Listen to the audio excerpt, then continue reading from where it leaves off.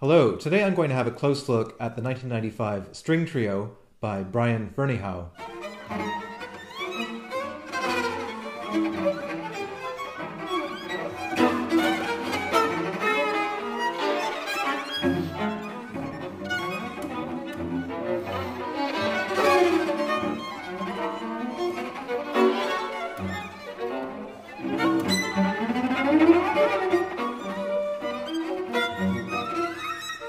Brian Ferneyhough is an English composer. He was born in 1943 in Coventry, which is a city that lies in the geographic center of England.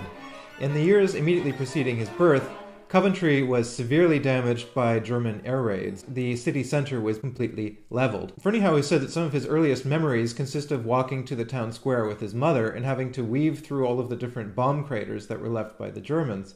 And some writers have commented on the fact that his later preoccupation with damaged structures may have some sort of a connection with this early memory. But Brian Ferneyhough in England, generally speaking, were not a particularly good fit. He was unable to find a teacher in England that would be sympathetic with his particular musical leanings. There was a certain conservatism in England in the years after the Second World War, and what he was really interested in were the radical experiments of composers like Stockhausen, Boulez, or Edgar Varèse. In fact, he had an LP of a piece by Edgar Varèse called Octandre, that he listened to so many times that by his own admission he completely wore out the record. So he was also preoccupied with trying to understand how these pieces work, but not really quite succeeding because of a lack of documentation and a lack of competent teachers. So he would try to imitate the surface qualities of works such as Stockhausen's Gruppen for three orchestras, but without really knowing how those pieces were put together technically. So it took him a while to piece together a functioning technique. And one of the really interesting things about his compositions is that because of the fact that he was largely left to his own devices and had to come up with his own vocabulary essentially from scratch while trying to make a synthesis of all these different strands in music that were so fascinating to him, he ended up elaborating a lot of techniques that were deeply personal and completely original. So he ultimately decided to move to the continent to study composition, initially in Amsterdam with Toon de Leeuw, and then later on with Klaus Huber, a prominent Swiss composer in Basel. In addition to his prominence as a composer, Brian Ferneyhough is a very highly sought after composition professor. So he taught in Freiburg, Germany for many years before moving to California, where he still lives.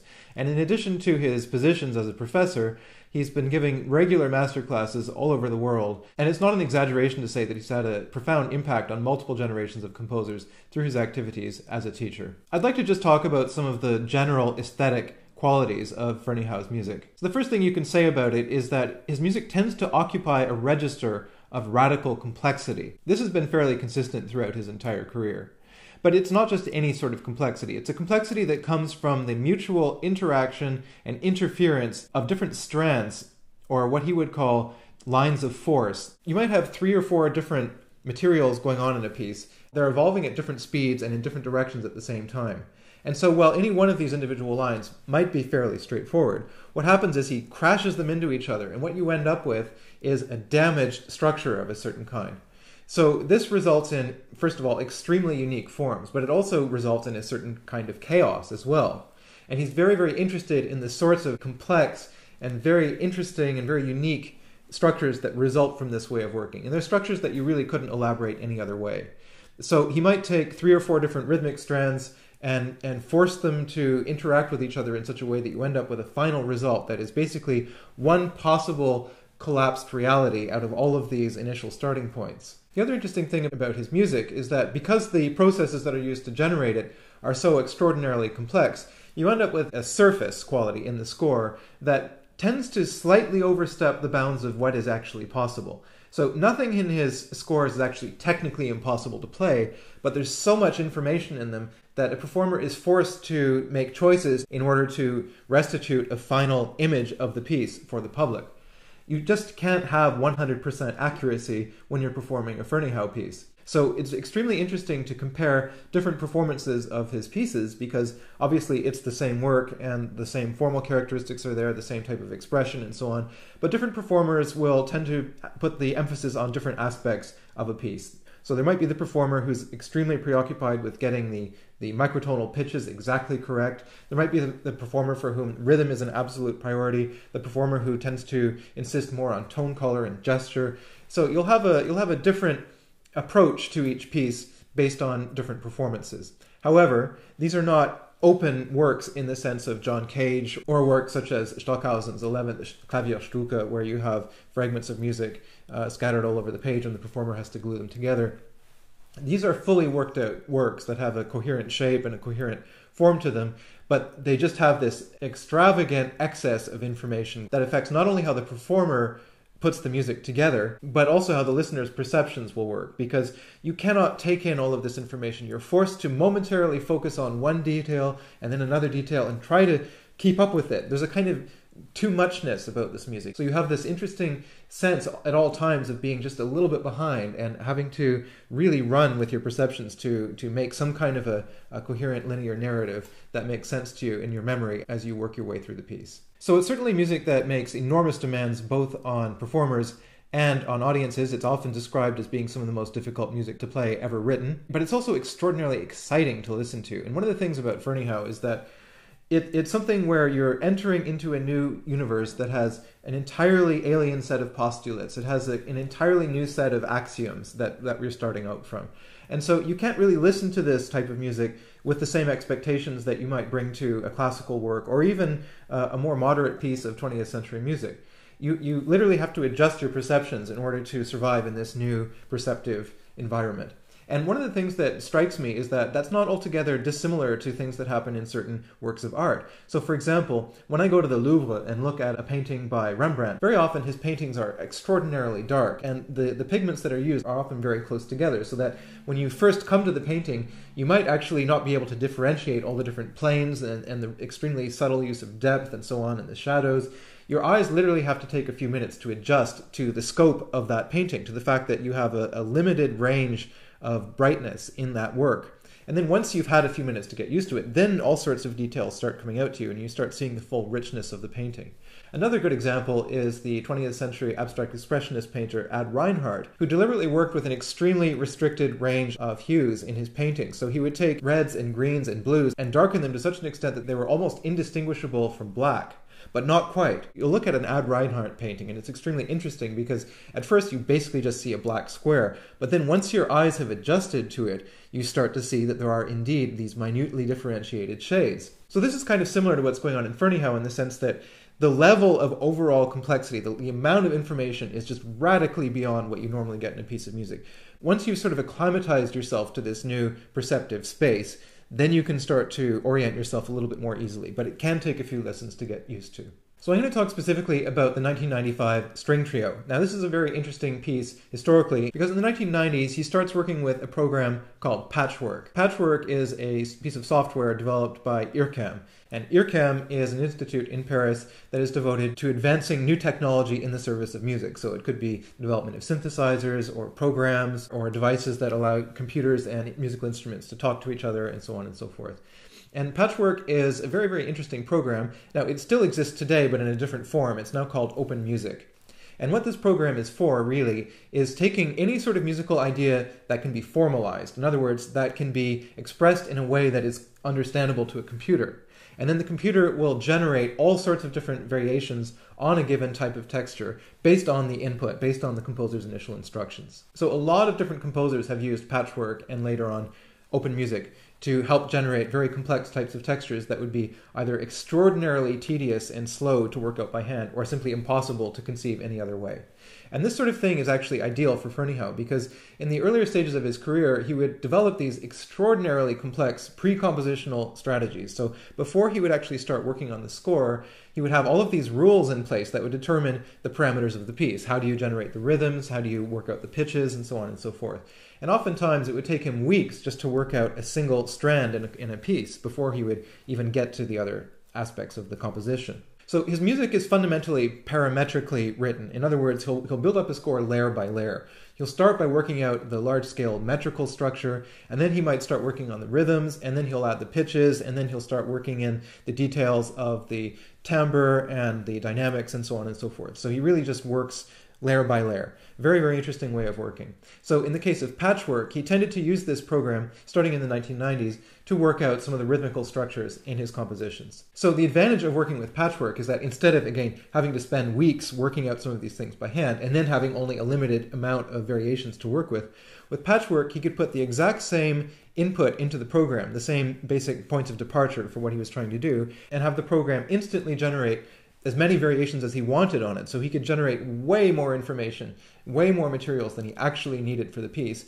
and then sift through them and sculpt them and shape them in a much more intuitive manner.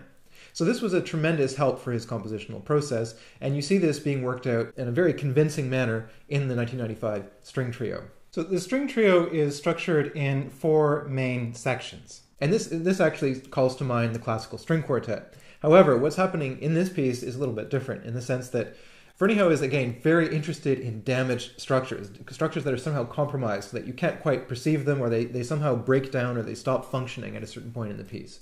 So he starts out with what appears to be a very clear set of postulates for each movement, but as you work through the piece, it's gradually interrupted by a series of what he calls interventions. So these interventions are little fragments of music that are completely alien to the rest of the piece. They're, they're just non sequiturs. They have nothing to do with what came before or what comes afterwards. They both break up the flow of the music and they also force you to view what just happened and maybe what's about to happen with a little bit more distance.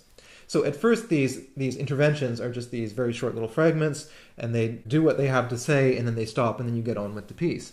But as the piece continues, the interventions become more and more prominent until by the end, you're no longer actually clear what is an intervention, what is a fragment of one of the main sections. It becomes very ambiguous and everything basically starts to fragment and break down. So there's four types of interventions in this piece and they're numbered 1 to 4 in the score. So the first interventions have to do with the use of eighth tones, so extremely small micro intervals that are being used and they're they're only used in this first intervention.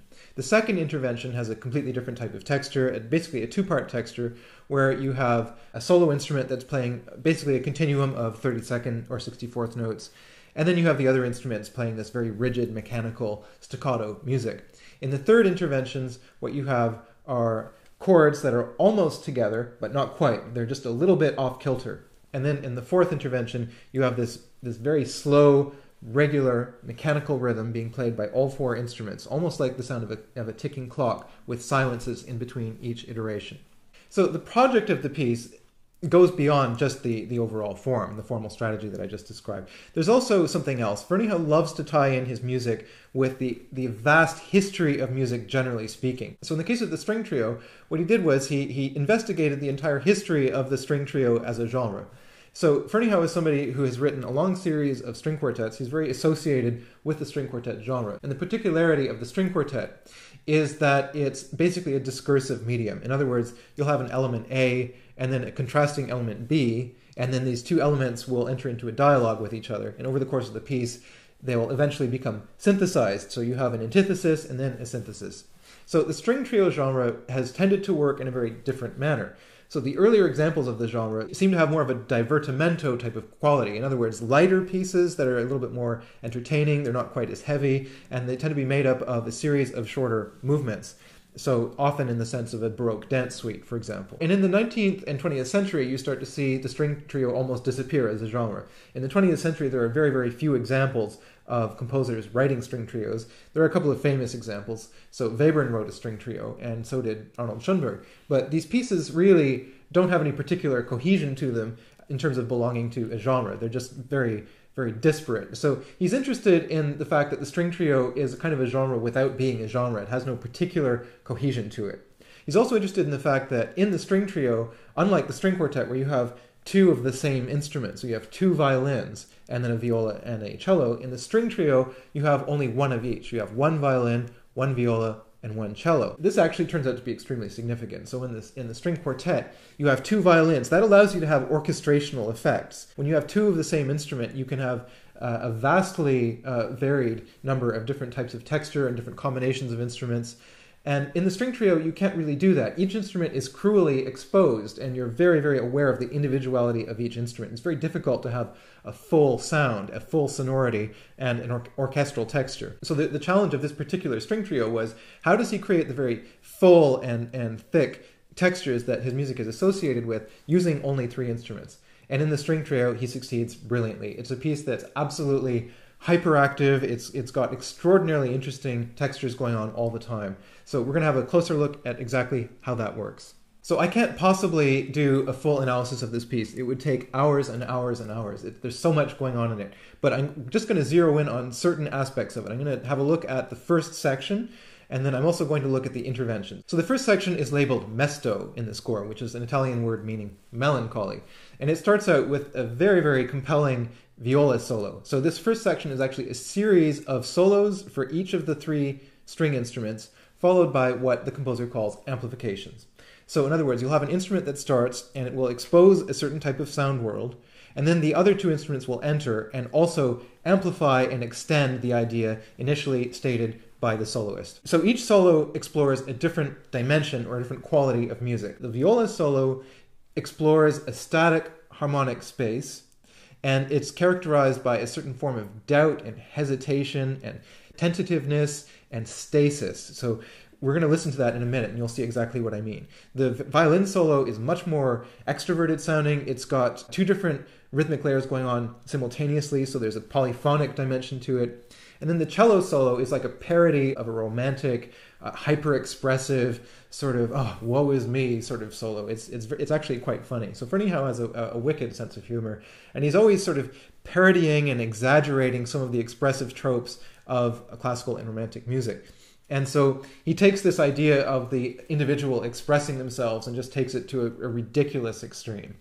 So let's have a closer look now at the viola solo. So I mentioned that it explores a fixed harmonic space. So what do I mean by that? He takes this microtonal scale, so in other words, using quarter tones, intervals smaller than the smallest intervals that you can play on a piano, and he affects each pitch to a particular octave. So in other words, every time the pitch F sharp appears, it will always appear in the same register. Every time a B one quarter sharp appears, it appears in the same octave, and so on and so forth. So the, the registral space is fixed, and there's a fixed number of pitches that he's allowed to use. So, in other words, there's there's no harmonic evolution. You just have this fixed space. All of the notes are sort of stuck in the same spot at all times, and every time they reappear, they reappear in the same octave. So that's a very interesting strategy. But what he does in order to animate this space is he has a, a constantly varied series of rhythmic figures and especially of different tone colors. This viola solo also occupies an extremely narrow range of dynamics. So you'll you'll notice when I when I play an excerpt from this solo that we remain in a dynamic register of of three P's, of pianissimo. So very, very, very soft, delicate sounds. And he further makes these sounds delicate and fragile by using playing techniques that are really on the, the edge of controllability and audibility. So, for example, col legno tratto, which is a technique that involves playing with the wood of the bow, not, not the hair of the bow as you normally do, but the actual wood. So, that produces this very unstable, sort of hesitant, kind of glassy sound. The other thing about it is that he stays in the extreme high register of the viola throughout. So that's not the sort of standard register of the viola. And, and he also avoids the fourth string of the instrument, which is, in, in a certain sense, maybe the most characteristic part of the instrument's register. So we're, we're, we're stuck all the way up in the stratosphere, in the least characteristic register of the viola. And on top of that, he's using all of these very strange, fragile playing techniques. So why don't we listen to it now, and I'll, I'll put the score on the screen so you can see what that looks like.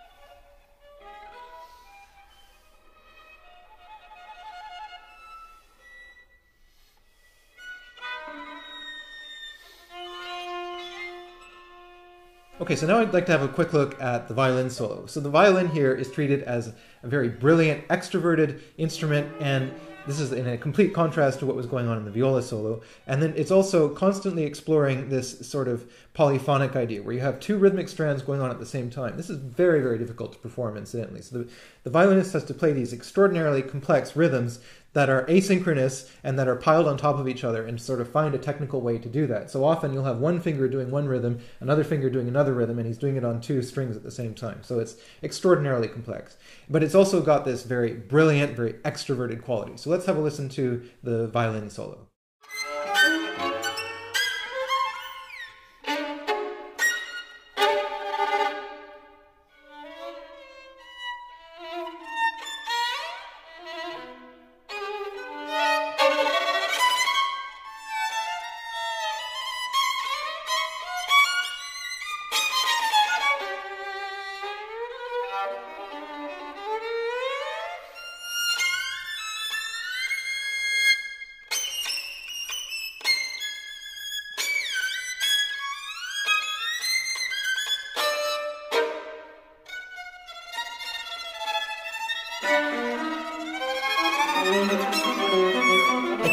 Off, I'd like to play for you just the cello solo. So the cello solo again is this like is this ridiculous parody of a very expressive lyrical cello solo, and you'll see that it's it's zipping all over the place, very very large intervals, very sort of exaggerated use of vibrato, uh, and a kind of theatrical gestural quality to it throughout.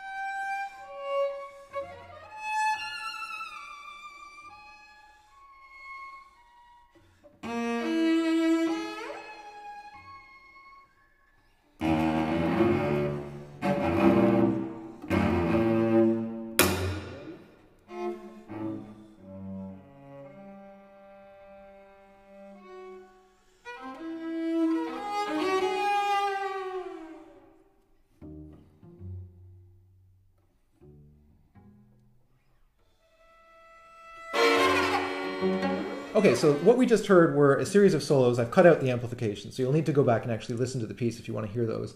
But the point is, the opening section is very structurally clear. It couldn't be any clearer. You have a series of three solos followed by a series of three amplifications of each.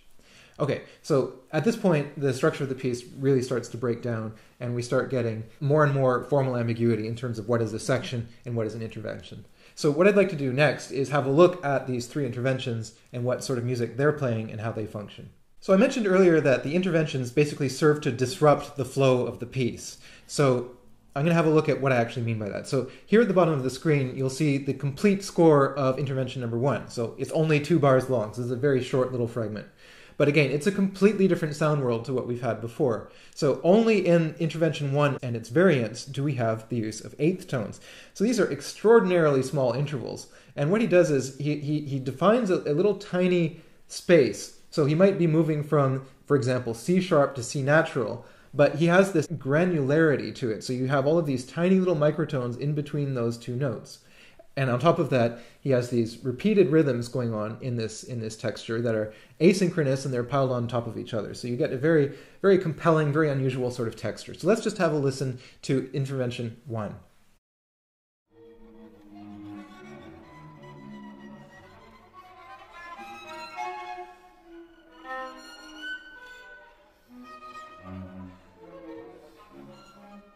Okay, so in intervention two, what we have is a very different sort of strategy. It's it's described by the composer as having a kind of rigidity, a kind of mechanical quality to it. And actually, what's going on here is you have two rhythmic layers. You have one rhythmic layer that's more or less continuous, a continuous flow of very rapid notes, and then the other layer is marked by these very sort of staccato, rigid, short little interventions. So this is a texture in two parts, and again, radically different from the preceding intervention, but in the piece itself, they're just sort of stuck up next to each other. There's no particular reason why two should follow one. There's no causality, there's no organic connection between the two.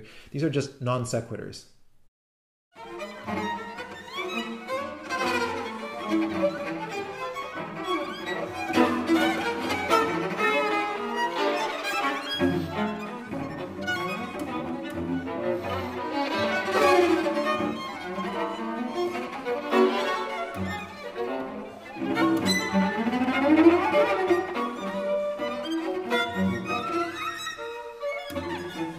Intervention 3 has yet another texture type that it explores, and this is a texture of chords that are almost together but not quite. They're just slightly off, and, and, and they can move in such a sense that they become gradually more distant from each other or gradually closer together in terms of the, the attacks being together.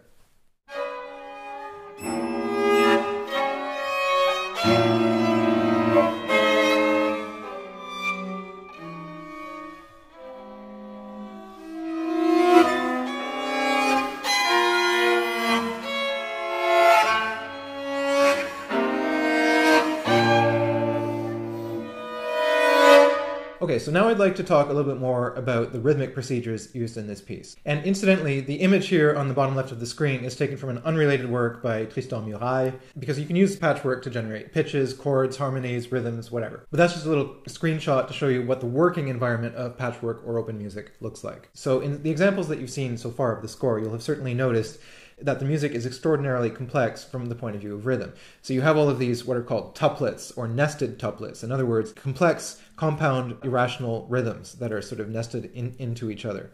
So you'll have an overall bracket of, let's say, 11 eighth notes in the space of of nine eighth notes, and then on top of that, you'll have 11 sixteenth notes in the time of seven, and so on and so forth. And you, you might have as many as three or even four layers of these tuplets fitting inside of each other, sort of like Russian dolls. And I think one of the most interesting aspects of it is the fact that it's it's not music that's just sort of coldly calculated in a kind of mechanical or mathematical manner. Not at all. What's really interesting in Ferneyhough is the fact that you have this collision, this head-on collision of two radically opposed ways of working. So, on the one hand, yes, he does have to formalize his thinking in order to generate some of these rhythms. There is a highly formalized, procedural, constraint based aspect to his work. But on the other hand, you have the, the sort of hot spark of inspiration that is sort of taking this raw material and sculpting it and shaping it in a very intuitive manner. So, it, there's also a certain kind of spontaneity in the actual realization of his music. So, in order to work with patchwork, you have to be able to formalize your musical ideas. You have to be able to express them in a way that a computer can understand. So, in other words, if you're working with rhythms or pitches or whatever it may be, you need to be able to express your ideas in terms of numbers. So, in the case of this particular piece, they're expressed as a list. So, let's have a look at a particular list, and I'm going to explain how this list is transformed into conventional rhythmic notation afterwards. Okay, so the first thing we see here is the list has an opening bracket and a closing bracket. And what that tells us is that it's one bar of music, one measure of music.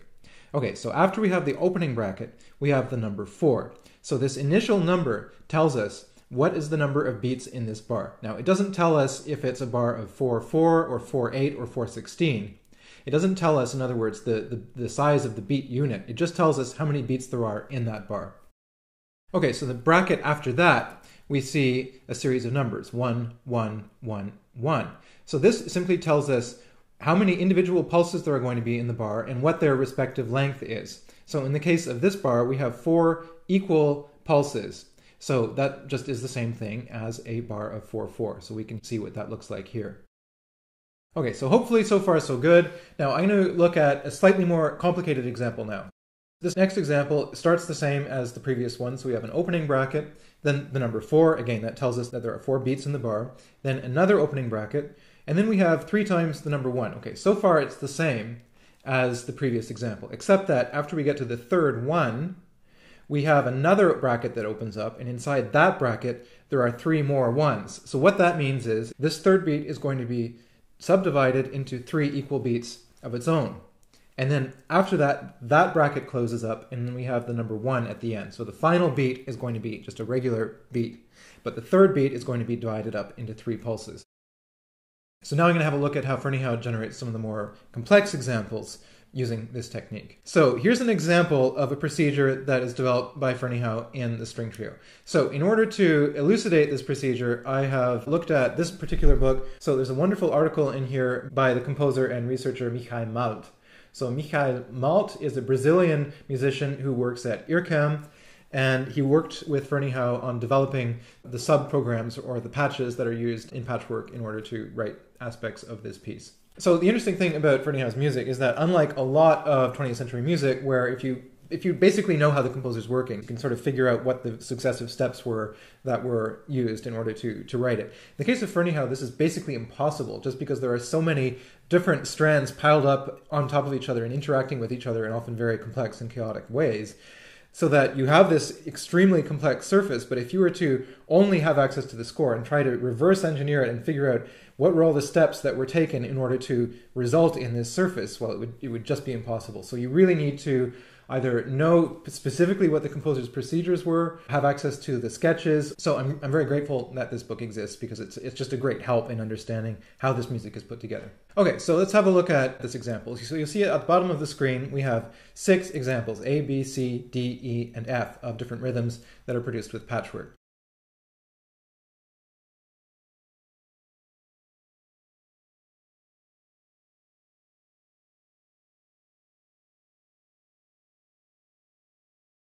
Okay, so let's just look at our example A here. So aspects of it are going to be familiar from what we already looked at with our previous examples. So we have an opening bracket followed by the number four. So again, that tells us this is a this is a four beat bar. Now that doesn't tell us the number of pulses or individual notes in the bar. It just tells us what is in the time signature. So that tells us that there's going to be a four in the time signature. Okay.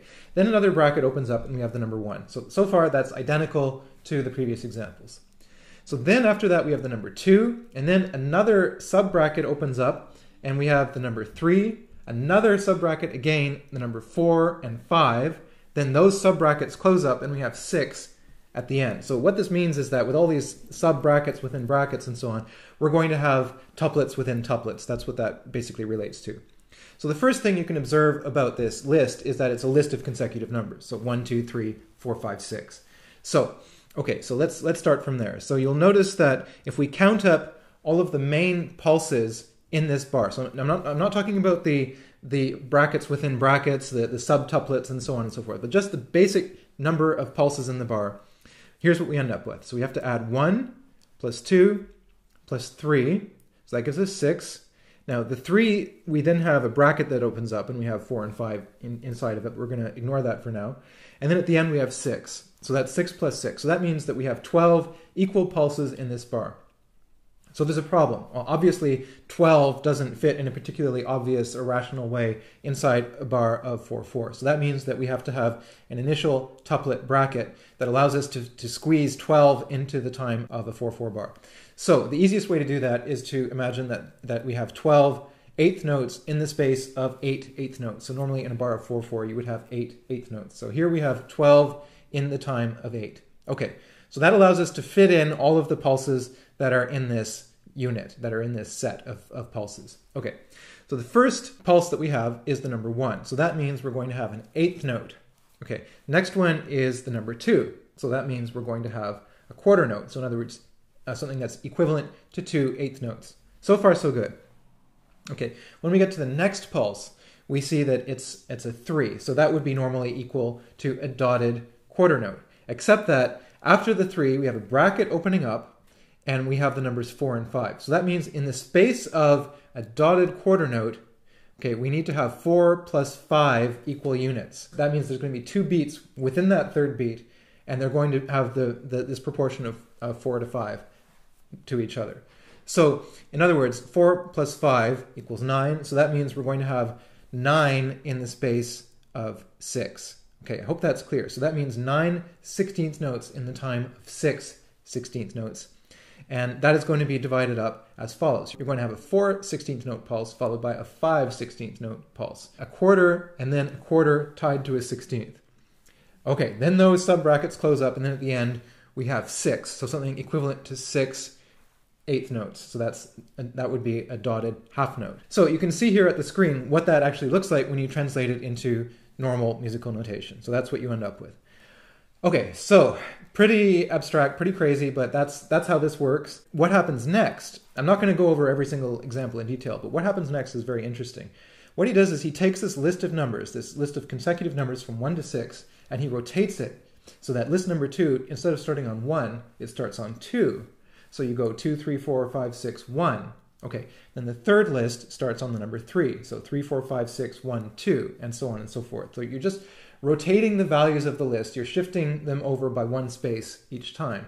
And then the result of this rotation is then transformed into rhythmic notation.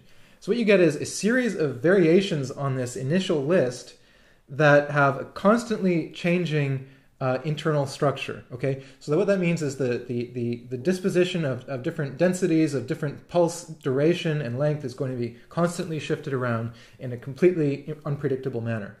So then what he will do is he'll take multiple strands that are like this of different procedures being carried out on lists, various types of variations and so on, and, and dispose them polyphonically in the score. So he might create an initial matrix, just to give a random example, of like 10 different layers of processes like this.